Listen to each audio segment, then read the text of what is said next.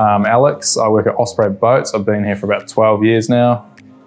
Uh, build aluminium trailer boats. I'm one of the fabricator welders. Uh, so we've got 11 people working at Osprey. Currently working on boats towards the boat show, which is up north in Auckland. So we're making some new models, take them up there. So pretty much new design straight up, like pretty much from the bottom of the boat. It's pretty similar still, but made them a bit wider, a bit longer.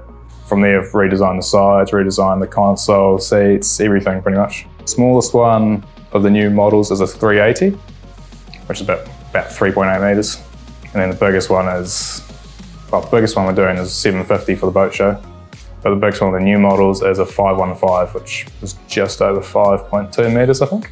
We make boats that are hardtop, so they've got an aluminium roof on them, just protect you a bit more from the elements. Sometimes they have doors on the back as well if people want that, so you can be enclosed in. Really nice if you're in a bit, bit bad weather. And a lot of them get like toilets on the inside, so do them sometimes with showers on the outside, but less common now. Some of them get fridges even.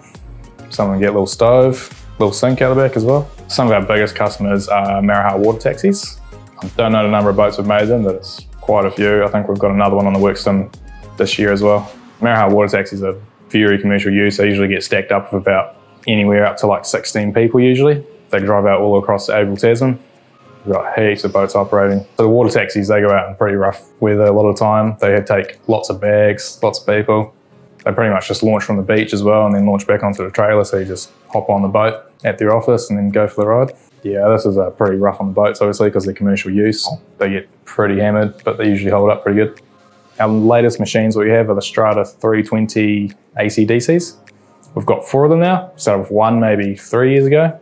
Since then, found them pretty good, so we just got another three it's quite hard if we, or it's hard to make the boats in a timely manner if we have downtime with welders breaking. So these stratas have been really good because they haven't broken down once yet. So we've got deadlines to make on the boats. So we got to get our boat ready to get painted by a certain date. And so if our welder breaks and we can't weld something, we can't paint it, then we're holding up the customer at that point. So machines are just always pretty much on. We come to work, we turn the machines on and people start welding straight away. Some people start making small parts and then welding straight away. I didn't really know anything about stratas until we got one. And then from there, they were just great. So we just kept getting them. Haven't had any issues with them. People like the, uh, how you can just pretty much just change the settings just by pressing the button once. And so on these stratas, the key thing, we don't do too much stainless, but when we do, it's nice to just be able to press the button, just change it straight to stainless. That's quite handy. Changing to high frequency is quite useful in case if we want to do like a slightly bigger weld or a slightly smaller weld on thinner or thicker material.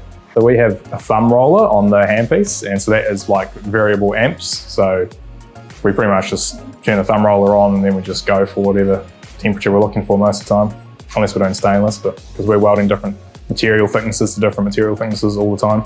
So with aluminium, the more times you heat it up, the more times it warps and distorts. So you really want to get it right first go. And also if you get it looking good first time, it's always most satisfying for you and the customer. Try to do that easy. I'll say they do it just as well as any other welder, if not better. So we've got Millers, we've got Another brand I don't know, it's but older one. We've got Kemppis. They're all pretty good, but since we got Stratas, just stick with Stratas. Work great. Reliability wise, I don't think we've taken one welder back yet, and they're getting used here. Like they're almost getting abused. People ever approach me about which TIG they want to buy, I'd tell them Strata, be the first one to go for, especially if you're after a three phase one.